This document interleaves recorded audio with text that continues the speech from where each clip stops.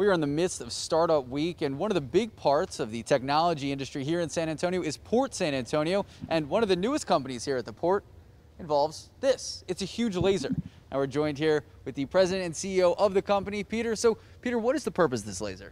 Yeah, the purpose of this laser, it's installed on a robot, and we use that robot to depaint, strip paint from aircraft. That's uh, the, in, in international language is the people, planet, profit.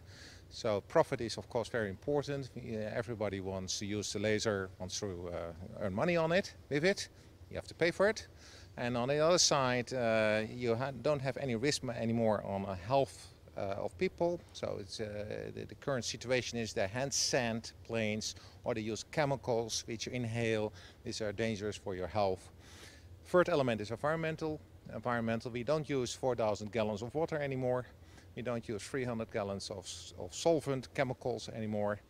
Um, so it's very good for the environmental. All right, Peter, thank you so much. And joined now, President CEO of Port San Antonio. So what does this mean for the Alamo City? What this means is we're continuing to incorporate new technologies into the existing industries that we do so well.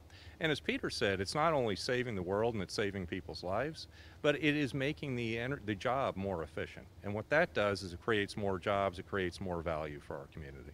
And guys, here it is, Port San Antonio, bringing more to the local economy, one business at a time. Max Massey, KSAT 12 News.